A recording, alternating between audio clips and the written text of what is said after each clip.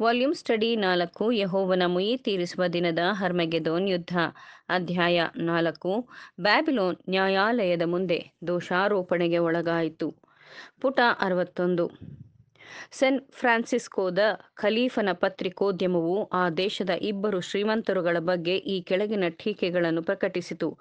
ಪ್ಯಾರಿಸ್ನಲ್ಲಿ ವಾನಾ maker dinner ಮತ್ತು ನ್ಯೂಪೋರ್ಟ್ನಲ್ಲಿ Walter belt dinner ಒಟ್ಟಾರೆ ಖರ್ಚು ನಲವತ್ತು ಸಾವಿರ ಡಾಲರ್ಗಳು. ಬಹುಶಃ ಆ ಕಾಲದ ಉತ್ತಮ ವ್ಯಾಪಾರವು ಆ ಕಾಲದ ಚಿಹ್ನೆಗಳಲ್ಲಿ ಸೇರಿವೆ. ಇಂತಹ ಸಂಗತಿಗಳು ಈ ದೇಶದಲ್ಲಿ ಬದಲಾವಣೆಯನ್ನು ಸೂಚಿಸುತ್ತವೆ.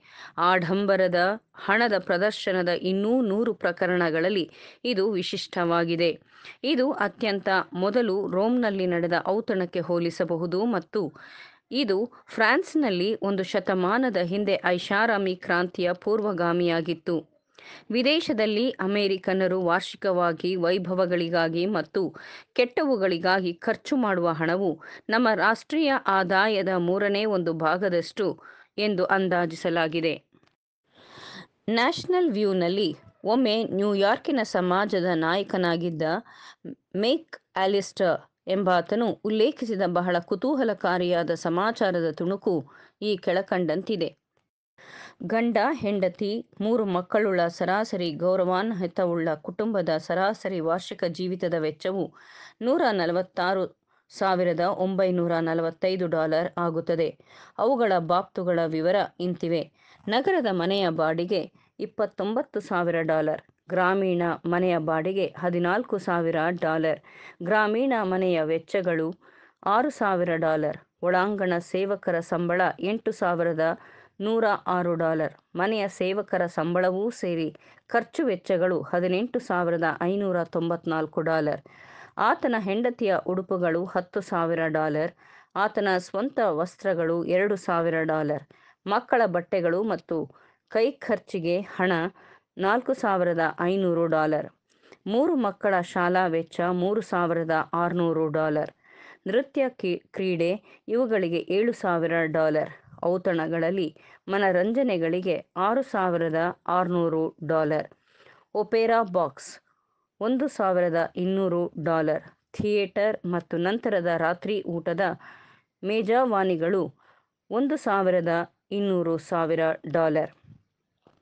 ಪತ್ರಿಕೆಗಳು ನಿಯತಕಾಲಿಕೆ ಪತ್ರಿಕೆಗಳು, ನೂರು ಡಾಲರ್.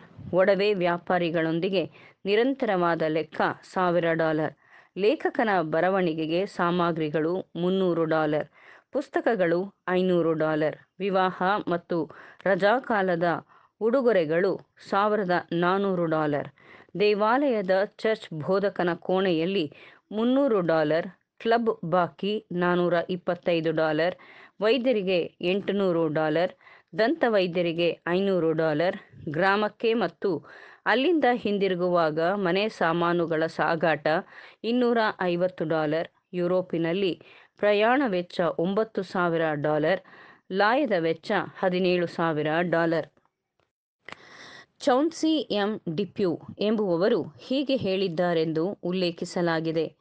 ಸಂಯುಕ್ತ ಸಂಸ್ಥಾನದ ಐವತ್ತು ಪುರುಷರು ತಾವು ನಿಯಂತ್ರಿಸುವ ಸಂಪತ್ತಿನ ಕಾರಣದಿಂದಾಗಿ ಇಪ್ಪತ್ನಾಲ್ಕು ಗಂಟೆಗಳೊಳಗೆ ಒಟ್ಟುಗೂಡಲು ಮತ್ತು ಪ್ರಯಾಣ ಮತ್ತು ವಾಣಿಜ್ಯದ ಪ್ರತಿಯೊಂದು ಚಕ್ರವನ್ನು ಸುತ್ತುವುದು ನಿಲ್ಲಿಸಬಹುದಾದ ತಿಳುವಳಿಕೆಗೆ ಬರಲು ತಮ್ಮ ಅಧಿಕಾರವನ್ನು ಹೊಂದಿದ್ದಾರೆ.